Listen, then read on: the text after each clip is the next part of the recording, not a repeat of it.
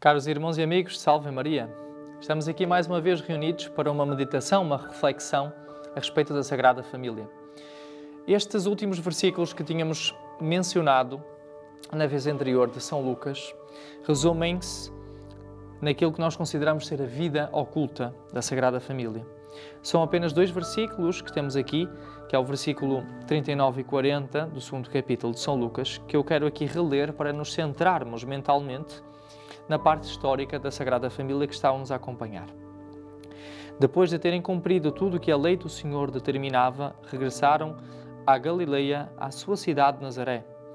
Entretanto, o menino crescia e robustecia-se, enchendo-se de sabedoria e a graça de Deus estava com ele. Isto é depois então do episódio da circuncisão e da manifestação de Jesus.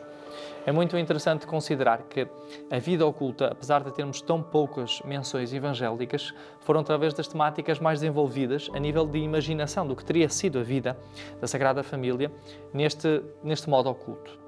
E realmente é muito bonito vermos, por exemplo, São José continuava, como nós sabemos, a manter os seus trabalhos de carpintaria para um sustento da própria família.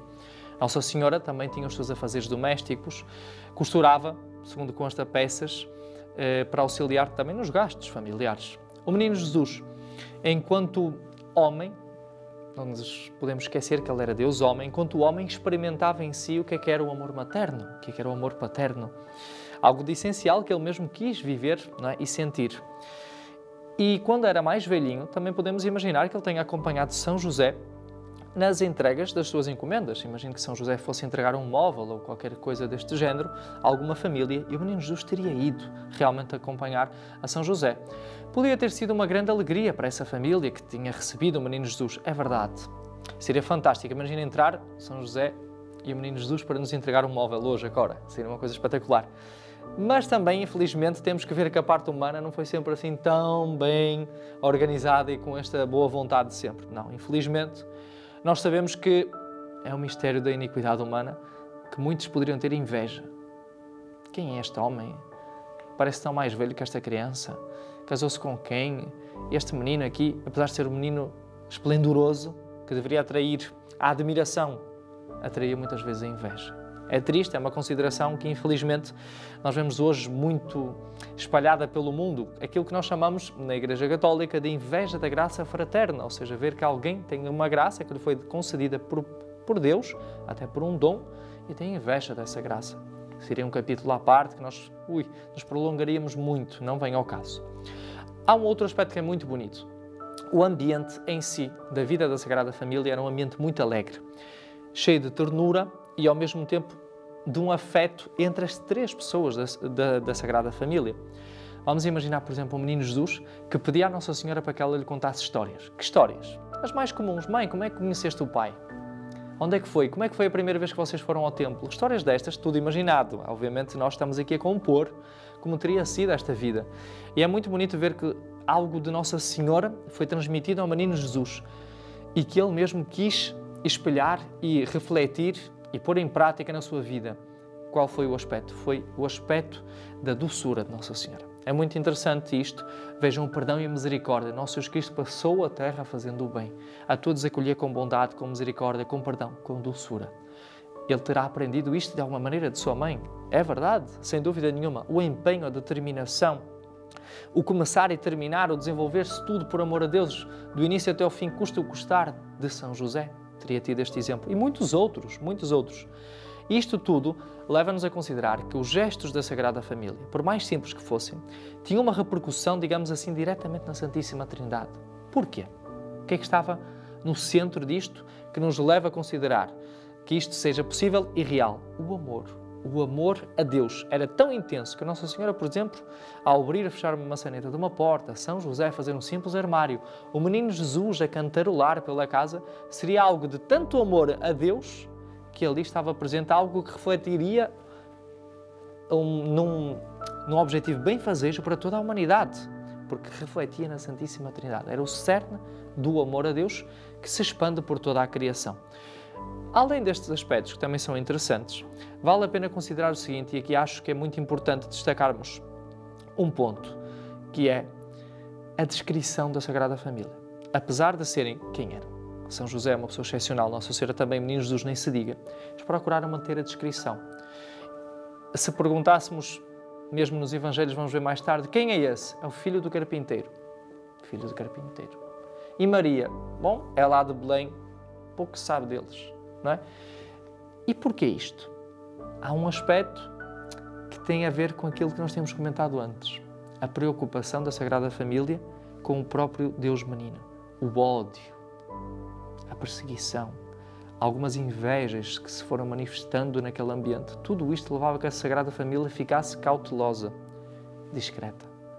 Não é talvez para o melhor aspecto que nós podemos ver, sim, mas é um aspecto real. O medo de que alguma coisa pudesse acontecer com o menino. Então a descrição foi sempre uma boa maneira de se manterem seguros.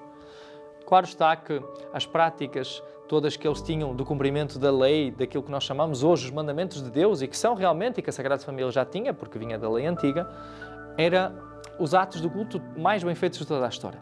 Feitos pela Sagrada Família, sem dúvida nenhuma, foram os atos mais bem feitos e mais bem praticados em família de toda a história.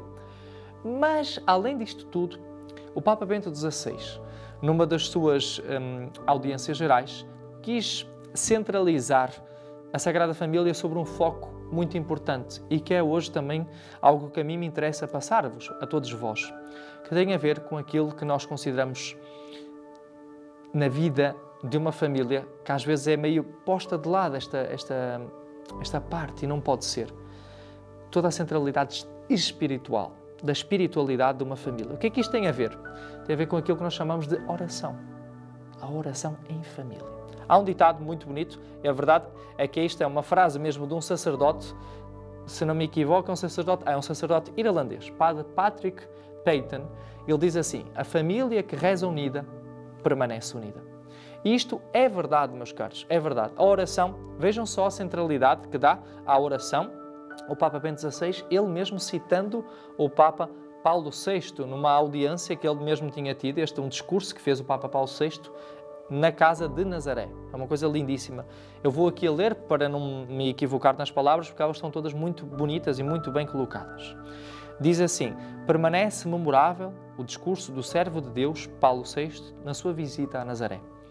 Ele disse que na escola da Sagrada Família nós compreendemos, aqui já são palavras do Papa Paulo VI, compreendemos porque devemos ter uma disciplina espiritual se quisermos seguir a doutrina do Evangelho e tornar-nos discípulos de Cristo. E segue assim. Em primeiro lugar, ela ensina-nos o silêncio. O silêncio. Oh, se voltasse a nascer em nós a estima pelo silêncio, a atmosfera admirável e indispensável do Espírito. Enquanto ainda estamos deslumbrados por tantos clamores, ruídos e vozes estrondosas da vida perturbada e tumultuosa do nosso tempo ó silêncio de Nazaré. Ensina-nos a permanecer firmes nos bons pensamentos absorvidos na vida interior, prontos a sentir bem as inspirações secretas de Deus e as exortações dos verdadeiros mestres. Aqui termina a citação a Paulo VI e é realmente muito interessante. O silêncio faz parte do envolvimento espiritual para nós ouvirmos a Deus e nós nos centrarmos, como diz aqui, nos bons pensamentos, refletirmos nos nossos atos diários naqueles que teremos de convívio com Deus no céu e nos nossos futuros para dar maior glória a Deus. Sem silêncio não há oração. Não há oração. Aliás, algo que até é pedido a todas as famílias, que haja um momento de silêncio em conjunto para que todos nos centremos, antes de uma oração, naquilo que estamos a fazer. Fazer uma oração no meio das práticas diárias, quase não se faz uma oração, é preciso o silêncio, que é prévio. E a nossa alma, o nosso espírito precisa do silêncio. E então diz Aqui, em continuidade, o Papa Bento XVI. A contemplação de Cristo em Maria, portanto, ele vai agora comentar um pouco como é que era esta contemplação, esta vida espiritual dentro da Sagrada Família. A contemplação de Cristo, portanto, o menino, tem em Maria o seu modelo insuperável. As recordações de Jesus, gravadas na mente de Maria e no seu coração, marcaram cada momento da sua existência. A capacidade de Maria viver do olhar de Deus é, por assim dizer, contagiosa. Muito bonita esta expressão. E quem foi o primeiro a ser contagiado? Ele mesmo diz: o primeiro que fez essa experiência foi São José. Então vejam, a admiração, a contemplação, envolta no silêncio, no espírito de oração da Nossa Senhora para com o menino Jesus contagiou o próprio São José, que também foi um modelo exímio disto. Vejam, o próprio Papa diz, né? o seu amor, de São José estamos a falar, o seu amor humilde e sincero à sua noiva e a decisão de se unir à sua vida, a unir a sua vida à vida de Maria, atraiu e introduziu também a ele que já era um homem justo, não é? como está no Evangelho de São Mateus, numa intimidade singular com Deus. Evangelho, como sabemos, não conservou palavra alguma de São José. A sua presença é silenciosa, mas fiel, constante e laboriosa. José cumpriu plenamente o seu papel paterno sobre todos os aspectos. Muito bonito este resumo. E o silêncio, a oração, a contemplação são realmente os meios indispensáveis para nós unirmos o nosso espírito a Deus. No caos da vida, não vamos conseguir isso. Procuremos então, conselho que eu lhes dou a todos que estão em casa, um momento de silêncio em família. Rezar o terço. Nossa Senhora apareceu em Fátima, no nosso país, a pedir-nos isto. Por que não rezarmos todos os dias, pelo menos um terço em família?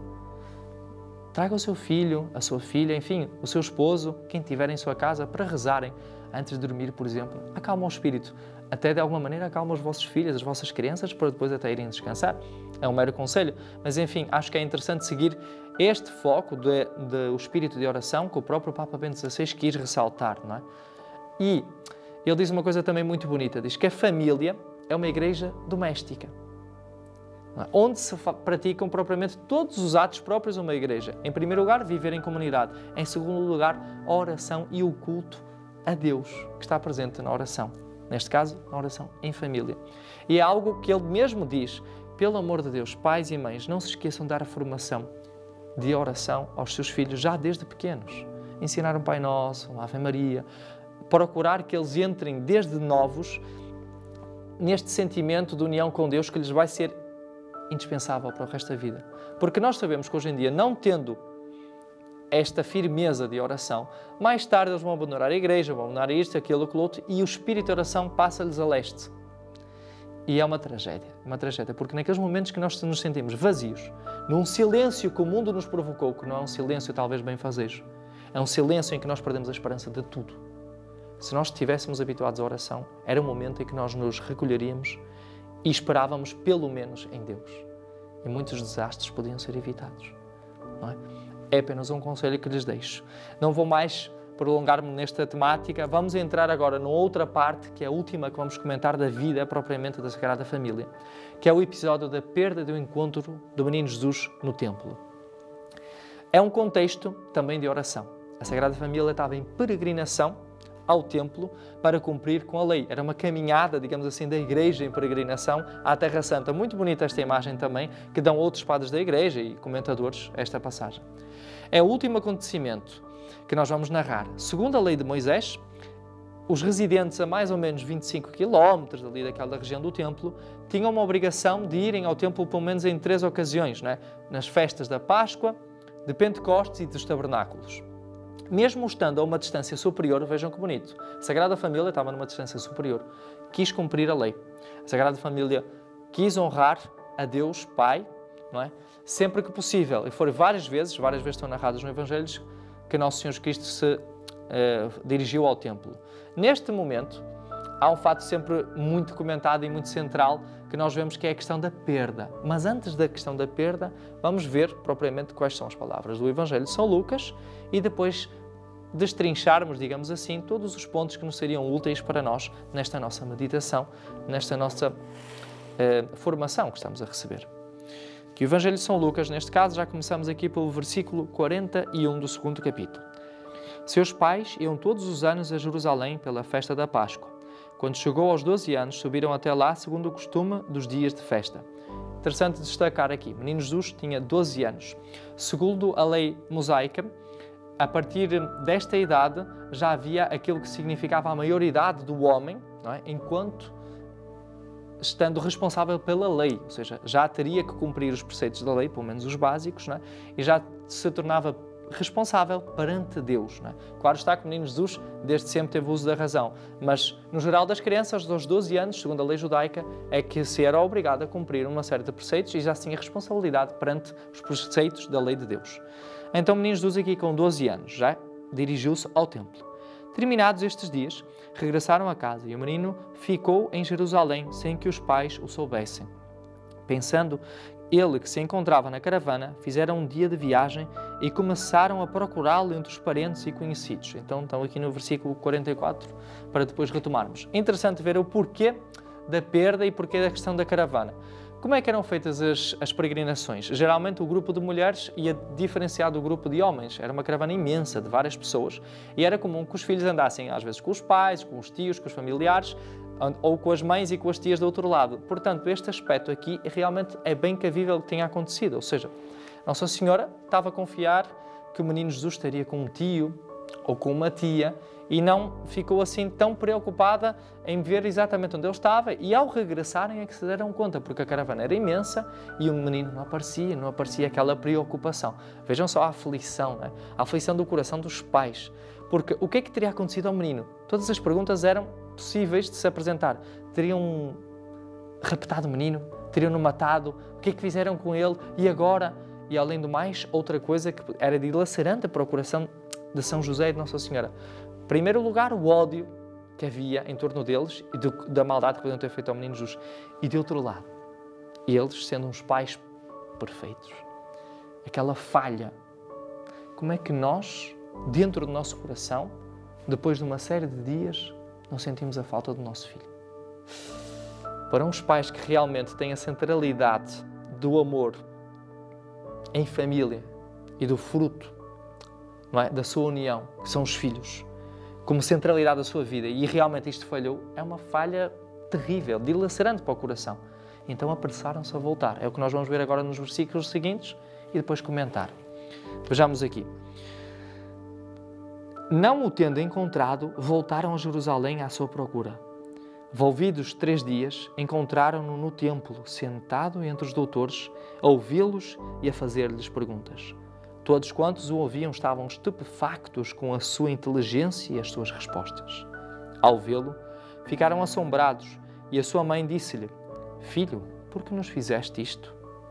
Olha que teu pai e eu andávamos aflitos à tua procura.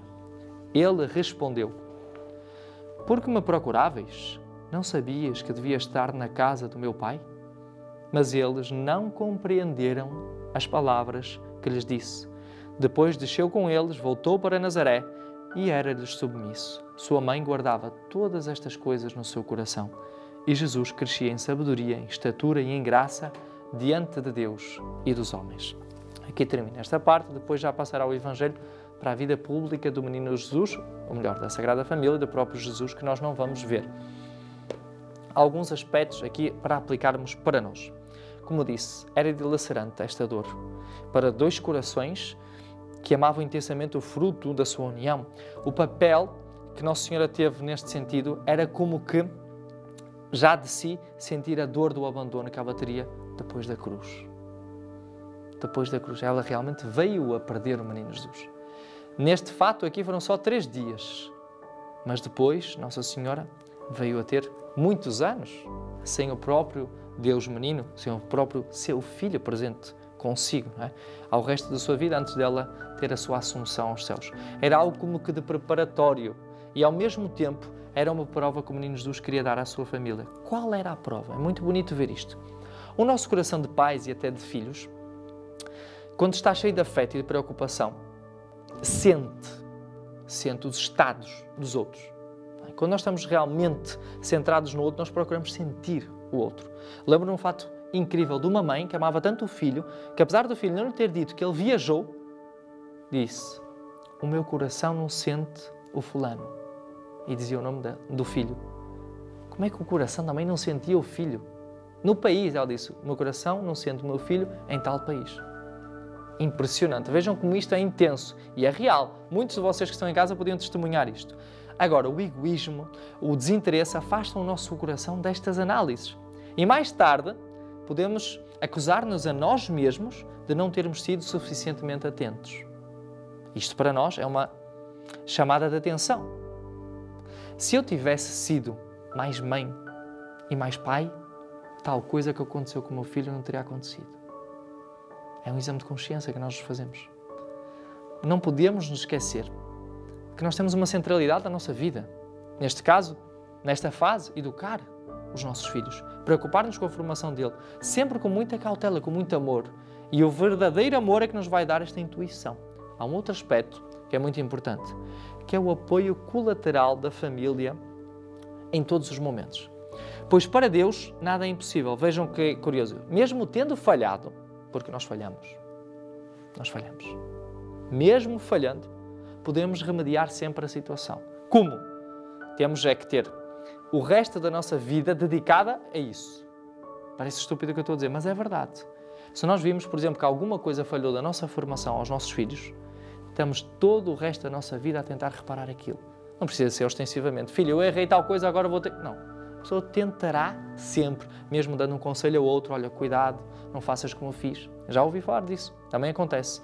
E depois também, outra coisa que é muito interessante ver aqui neste aspecto da apresentação é a sabedoria posta em prática. Isto é lindo. Porquê? Porque o menino Jesus, com 12 anos, começou a refutar os erros daqueles que se achavam os doutores. E eles queriam viver uma vida, na verdade, imoral e a integridade e a sabedoria do menino destruíram aquilo tudo. Começou a revelar as intenções dos corações. Nossa Senhora, quando lá chegou e o próprio São José, teriam ficado assustados. Bom, mas ele está aqui no junto de exatamente aquele grupo que o podia ter matado. Não. A sabedoria dele foi tão impactante que talvez alguns dos que estavam lá presentes teriam se convertido. Nós não sabemos exatamente bem. Outros, quiçá, a partir dali sim decidiram matá-lo. E foi traçado o plano do seu sofrimento, que nós depois vamos ver com a paixão. Isto tudo há uma aplicação muito importante para nós. Muito importante. Dois aspectos. E queria terminar com isto hoje. É importante pedir o que é para os nossos filhos, nós enquanto pais.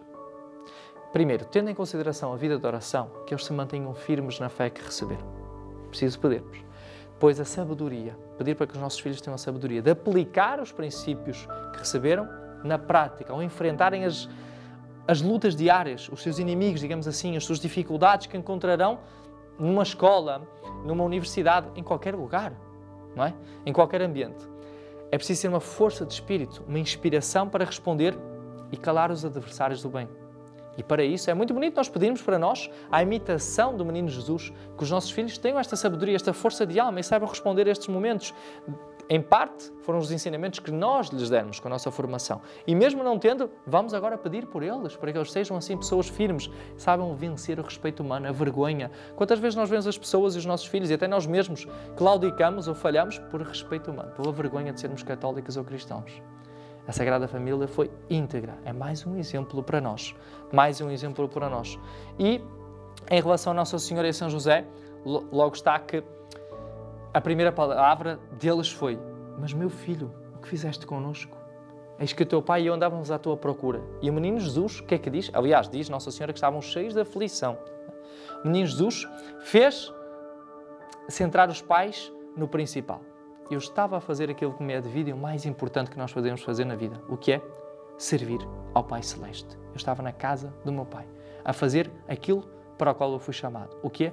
Dirigir os homens. Eu que sou o caminho, a verdade e a vida, vim já, desde novo, mostrar qual é a minha missão. Desmascarar o mal e fazer com que haja uma projeção, uma efetivação do bem da salvação, da redenção da humanidade. Muito bonito este aspecto. Se nós, na nossa família, tivermos esta preocupação, quiçá o nosso filho até nos possa chamar a atenção sobre isso, seria espetacular. Um filho que chama a atenção dos pais para a centralidade do amor a Deus e da fé.